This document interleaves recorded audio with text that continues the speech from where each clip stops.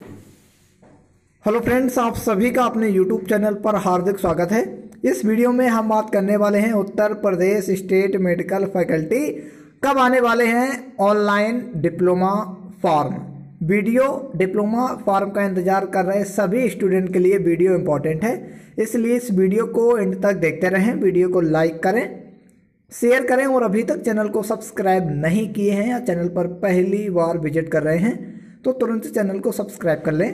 Bell icon के साथ साथ आल के बटन पर क्लिक कर लें, जिससे कि सारी इन्फॉर्मेशन आपके पास सबसे पहले और फ्री में पहुँचती रहे। तो चलिए फ्रेंड्स, वीडियो को स्टार्ट करते हैं और सीधा आपको ले चलते हैं Uttar Pradesh state medical faculty की वेबसाइट पर।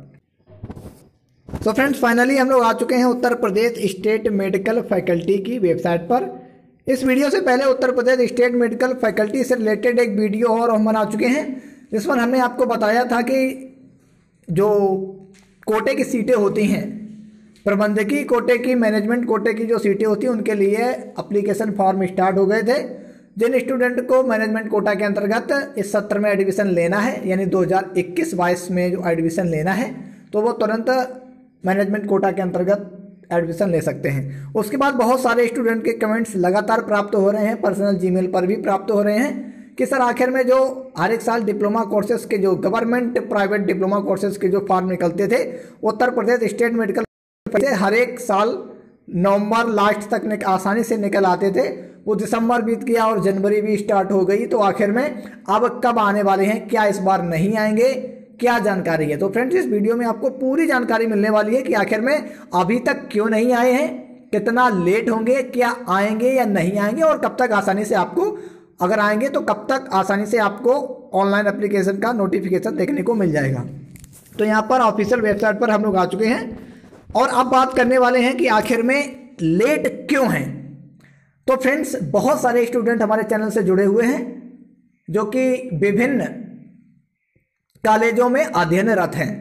तो उनसे प्राप्त जानकारी के अनुसार जो भी फ़र्स्ट ईयर का बैच है और या सेकेंड ईयर का बैच है फ़र्स्ट ईयर वाले बैच की भी अभी एग्ज़ाम नहीं हुए हैं। अगर सेकेंड ईयर के बैच का बात करें, जो इस समय सेकेंड ईयर में पढ़ रहे हैं तो उनका सेकेंड ईयर का एग्ज़ाम अभी तक कंडक्ट नहीं कराया गया है। इस पर सीटें हैं, वो जो भी सीटें रहती हैं कॉलेजों में, मेडिकल कॉलेजों में या फिर जो भी यहाँ पर संस्थान होते हैं जिनमें ये कोर्स करवाया जाता है तो उनमें सीटों की संख्या निश्चित है।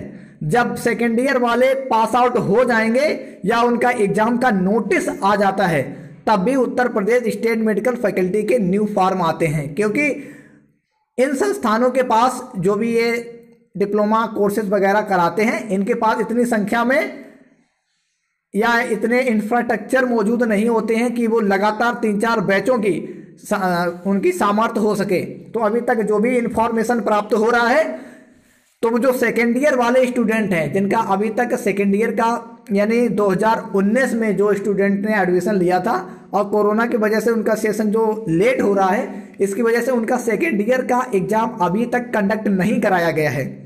जबकि जो पिछले साल स्टूडेंट एडमिशन लिए हैं, उनकी फ़ीस दोनों सालों की जमा हो गई है, लेकिन उनका पार्ट वन का भी मेन एग्ज़ाम अभी तक कंडक्ट नहीं कराया गया है, ना ही इसके बारे में अभी तक Uttar Pradesh state medical faculty से कोई नोटिस आया है। लेकिन जो फ़र्स्ट ईयर के स्टूडेंट है, वो बिल्कुल कन्फर्म है कि जनवरी माह में आपके एग्ज़ाम प्रस्तावित हैं और साथ साथ जो भी अभी फार्म रुके हुए हैं, इनके बारे में बारे में भी अपडेट प्राप्त हो रहा है कि जैसे ही सेकेंड ईयर वाले स्टूडेंट जिनका सेकेंड ईयर का मेन एग्ज़ाम होना अभी बाकी है इसके बाद वो पास आउट हो जाएँगे।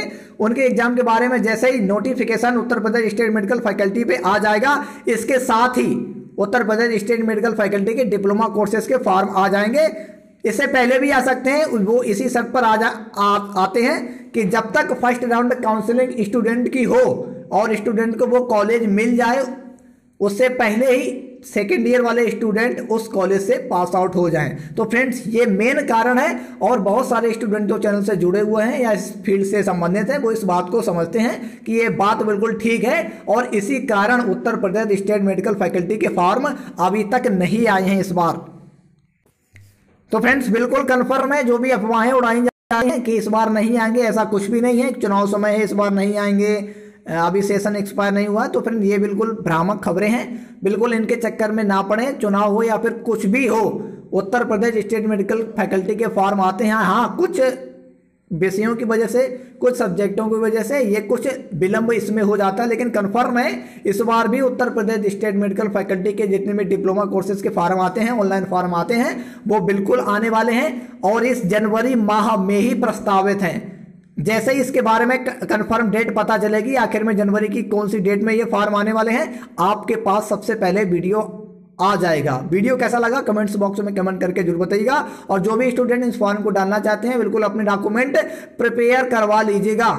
क्योंकि डॉक्यूमेंट प्रिपेयर करने में भी आपको लगभग 10 से 15 दिन का समय आसानी से लग जाएगा। तो अपने डॉक्यूमेंट प्रिपेयर रखिएगा। और लेटेस्ट इंफॉर्मेशन के अकॉर्डिंग बिल्कुल कंफर्म है कि जनवरी तक आसानी से आपको ये online form Uttar Pradesh state medical faculty की ऑफिशियल वेबसाइट पर देख जाएँगे और जैसे ही बारे, इसके बारे में कोई डेट फिक्स की जाएगी, आपके पास सबसे पहले वीडियो आ जाएगा। स्क्रीन पर आपको चैनल को लोगो दिख रहा होगा, उस पर क्लिक करिएगा और चैनल को तुरंत सब्सक्राइब कर लीजिएगा, जिससे कि latest update Uttar Pradesh state medical faculty diploma courses new admission से रिलेटेड आपके पास सबसे पहले और फ्री में पहुँचते रहे। Thanks for watching and subscribe my channel